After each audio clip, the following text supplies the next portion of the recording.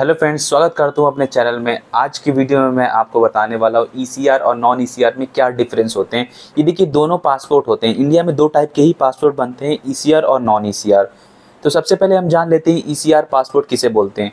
देखिए ईसीआर जो पासपोर्ट होता है, इसके अंदर ना अगर आपके पास टेंथ के मार्कशीट नहीं है, अगर आप एजुकेटेड नहीं हो तो आप ईसीआर कैटेगरी में फॉल करते हो पासपोर्ट बनवाने टाइम अगर आप पासपोर्ट अप्लाई करते हो, अगर वहाँ पे आपके पास टेंथ की मार्कशीट नहीं है तो आप पे एक, आपके पासपोर्ट पर एक स्टैंप मिलेगा, उस पर लिखा होगा ईसीआर पासपोर्ट और देखिए ईसीआर पासपोर्ट में बहुत सारी चीज़ें और इंक्लूडेड हैं, जैसे कि मैं आपको बता दूँ ईसीआर पासपोर्ट अगर आपके पास है तो आपको इमिग्रेशन करवाना पड़ेगा। अब क्या होता है इमिग्रेशन इमिग्रेशन चेक जो होता है, एक टाइप की वेरिफिकेशन होता है, क्योंकि जो ईसीआर जो होते हैं, वो लोग लोग यही समझते हैं कि वो पढ़े लिखे नहीं होते तो उनकी जॉब सिक्योरिटी के लिए इमिग्रेशन कराया जाता है और देखा जाता है कि अगर आपको कोई जॉब मिल रही है बाहर तो वो आपको मतलब आप कर पाओगे, नहीं कर पाओगे, पूरा सिक्योरिटी चेकअप होता है, तब फिर आपको इमिग्रेशन करने के बाद आपको फिर अलाउ होता है। कुछ कुछ कंट्रीज़ होती हैं, जैसे मैं आपको प्रोवाइड करा दूँगा।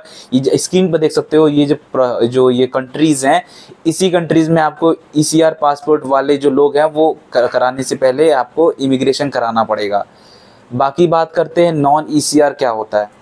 देखिए, जो नॉन ई सी पासपोर्ट्स होते हैं, इसके अंदर बस कुछ फ़र्क नहीं है। E C R non ECR में बस इतना फ़र्क है ना कि ई सी पासपोर्ट्स में आपको टेंथ की मार्कशीट नहीं अवेलेबल है, लेकिन नॉन ई सी पासपोर्ट में अगर आपके पास टेंथ की मार्कशीट है तो आप किसी भी कंट्री में जा सकते हैं without any immigration immigration verification क्योंकि आप पढ़े लिखे हो, आप कहीं भी जाओगे तो आपने एक आपके पास स्किल्स होगी, आप पढ़े लिखे हो, आप जानते हो मुझे क्या जॉब मिलने वाला है वहाँ पे।